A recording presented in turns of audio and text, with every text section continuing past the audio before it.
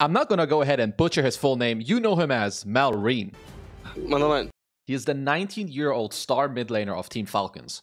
He is an OG member of this mysterious Creepwave roster, and he is absolutely everywhere. Just like Sumail and Miracle before him, this kid has been owning all of the best mid players in the entire world after literally joining his first tier 1 team five months ago. Aside from impeccable Hello Kitty tattoo taste, what exactly is this kid cooking that makes him so special? Oh, the only one! Here are 5 things Malrine excels at that place him in the top 3 mid laners of Dota 2 right now. Some people might start comparing Malrine with very high tier mid laners such as Prime Miracle or even Sumail. And honestly, for good reason. Malrine has been drastically outplaying a lot of his opponents in the last few tournaments. Like here in this clip against GPK, I'm sure most of you have seen by now, where even after making a huge mistake of tanking a tower hit, he places a branch and secures first blood for himself, when realistically, he should have been the one dying first. Clutch decision making with less than one second to react. We need to watch this play from GPK's perspective. This is exactly his vision. The moment he runs up to try and get the last off, he gets branched by Malrine.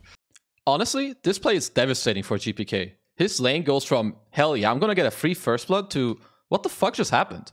Another thing Malrine excels at is truly understanding his hero to the max. He has so many level 30 heroes. Huskar, Timber, Lina, and the list goes on. On Monkey King, he's Platinum. You're bronze 3, why you're picking this hero? So he's gonna go on Puck under the tower here in this clip. Do you notice something strange in what is going on in this play? Especially the Monkey King players. Is there something that stands out to you here? Look at his skill build. His skill build is 2031. He's currently holding a skill point of Tree Dance because when you take damage, it goes on cooldown. But he's not leveling it because the moment you skill it, it comes off cooldown. So right after the silence is over, because he just now skilled the spell, it actually allows him to tree dance and now tower dive Setsu, giving him a kill that I think maybe no other player in Dota would have gotten in this situation. He is very good at understanding how to get something out of a losing matchup. I don't think there's a worse matchup than playing a melee hero against Huskar. He decided to rush Boots of Speed and he knows that he just can't even contest this entire wave. So instead he's hiding basically behind the tower. This is the Huskar's tower by the way.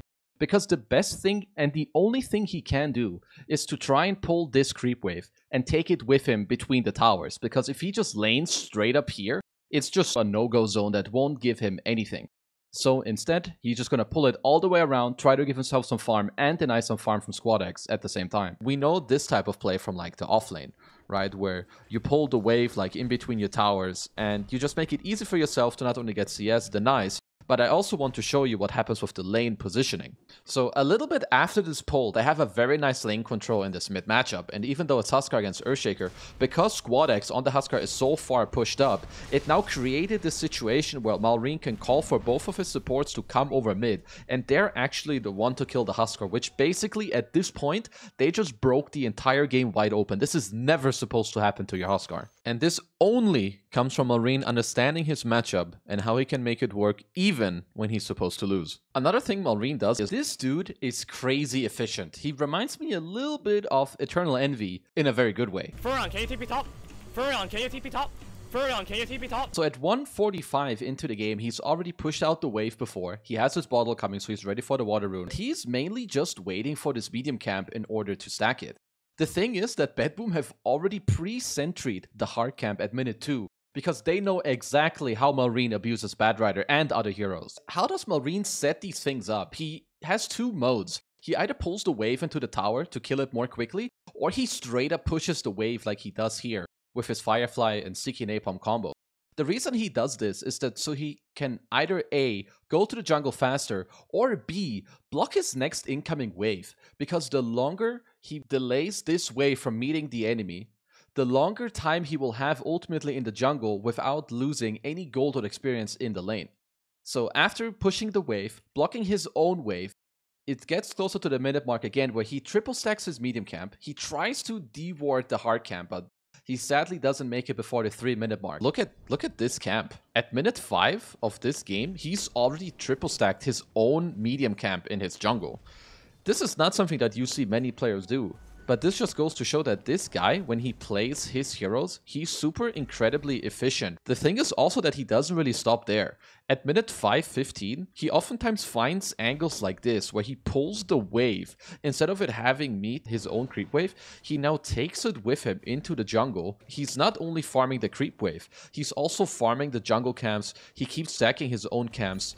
Because when we look at the net worth now, this is a Batrider Lina matchup. They are not supposed to be even. He's ahead in net worth right now, and they are literally the same level when it comes to experience. I would say the last thing we need to mention when talking about Malrine's abilities is that this guy really drives his opponents crazy in the laning stage. He aggressively denies every single creep and will non-stop harass whoever is against him. In this game, Malrein is level 7. He's nearly level 8 while his counterpart XM is level 4. He solo killed him 3 times and took his tower within the first 7 minutes. Let me show you how he does that. So after watching a lot of replays, one thing that I learned is that this guy clicks his enemy so much. Like look at the start of the lane, boom. Already the first hit right away on XM. He looks for more, there's the second hit. For the love of God! Please! That's five hits within like 15 seconds. Really early on in the lane, like forcing early pressure. Now it's like up to it's up to like 11 hits. XM is already like eating like his second tango of the lane.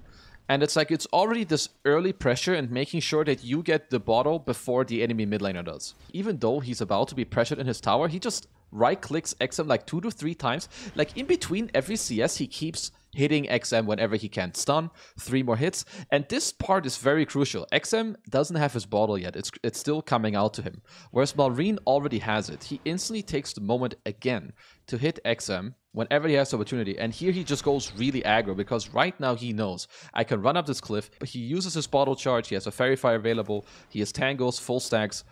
Boom, baby. First blood, two minutes into the game. Double his CS, five denies compared to one. Just super clean and super easy. This guy would run a marathon if it meant he could get a single more deny in his laning stage. I want to show you guys a few of the small things he does, like the lengths he goes to get himself a deny in the laning stage. He aggros the creep wave by clicking the TB in the top lane. Now he's making all of these melee creeps hit this range creep right? So the focus is now the range creep. He knows that when this creep drops to low HP, GPK will be looking to orbit. So what Malrine does here already, notice how all the creeps start hitting him instead. He is making sure that if GPK orbs, the creep will stay high enough and he cannot get the last hit. The moment he now sees that, okay, I can hit this creep two times before GPK can hit the creep with the orb, he instantly takes this opportunity, giving himself a deny. This is how far this guy goes in order to get a deny. Super impressive stuff. I cannot wait to see how this kid's career will evolve this season. Speaking of, if you want to come see Malrine, Team Falcons, and all the best teams in the world play live in front of one of the most amazing crowds that we have in Dota, you're in luck. There's still a few ESL 1 Birmingham tickets available right now. So go get yours fast with the link in the description. Hopefully, I'll see you all there. Don't forget to subscribe, and thank you all for watching.